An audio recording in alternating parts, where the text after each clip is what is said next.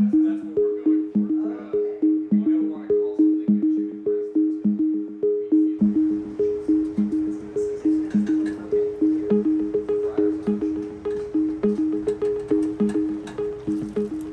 USDA approval now opens up the pathway for us to sell cultivated meat here in the biggest market in the world, uh, in a place that's one of the biggest meat producers in the world, and I think lends a lot of credibility towards what this is going to be in the future. So it'll be a, uh, a momentous, historic moment for the food industry. So often anything that's new, you know, whether it's an electric car or it's ChatGPT, it, it feels strange, and a little peculiar uh, initially. But after a period of time, it becomes ubiquitous and boring. And that's eventually the path for cultivated meat.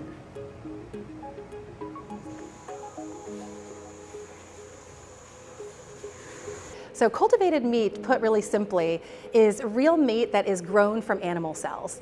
So if you imagine the meat that we have loved and eaten for tens of thousands of years, um, the meat that we cultivate is actually biologically the same, but it's made in a whole new way. So after 7 to 14 days or a little longer, depending on what we're making, we harvest the cells and then we can make it into any meat product that you love. So our first product will be chicken fillets, um, but we are working on an entire portfolio first of chicken, um, and then following that will be beef and other species as well. But then absolutely our goal in the mid to long term is to go into grocery stores and retail and for consumers to be able to experience and buy upside meat everywhere where they would be used to buying meat. So the hurdles are the size of the investment, the scaling up, and who are you targeting as a customer? And especially who is going to eat this? If you're not forced to eat lab-grown meat, while you will be eating lab-grown meat.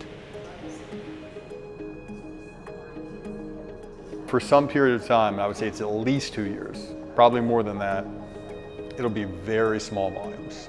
So think less than 5,000 pounds sold and ultimately to get to a point where no matter who you are, you know, if you're hearing this, it'll be in your local grocery store, in your local restaurant, we'll need to build much larger infrastructure.